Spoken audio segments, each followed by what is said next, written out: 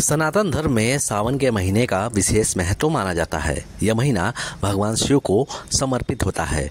सावन के चार सोमवार बीत चुके हैं और पांचवा और अंतिम सोमवार आने वाला है। सावन के अंतिम सोमवार पर ग्रह नक्षत्रों का अद्भुत संयोग बन रहा है, जो सावन के अंतिम सोमवार को और भी शुभ और फलदायी बना रहा है।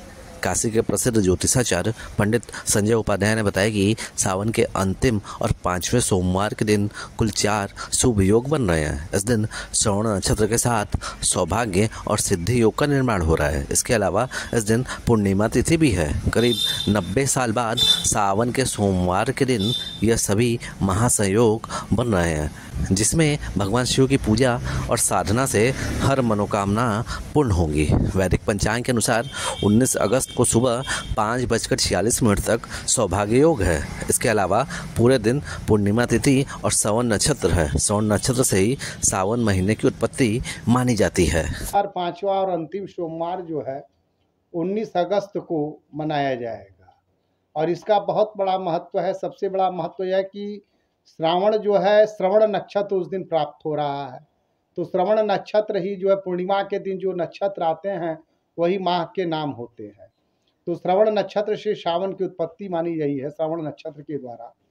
तो श्रवण नक्षत्र आने की वजह से जो है, सबसे महत्वपूर्ण है। उस दिन सौभाग्य योग है, और सबसे बड़ी बात है, सिद्धि नामक योग है, जो सिद्धि को मतलब हर एक मनोकामना को सिद्ध करने वाला है। और पूर्णिमा अपने आप में ही प्रशस्त योग माना जाता है। तो इतने योग तो प्राप्त हो रहे हैं।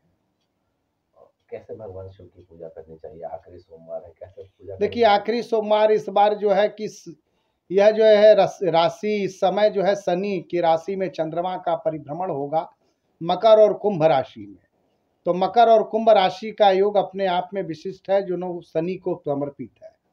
तो जिनको शनि संबंधी कोई समस्या हो तो आखिरी सोमवार के दिन अगर वह विधिवत भगवान शिव को काला तिल चढ़ाते हुए चावल के साथ अगर पूजन करते हैं तो उनकी मनोकामना पूर्ण होती है और सभी समस्याओं से उनको निजात मिलता है। जय विश्व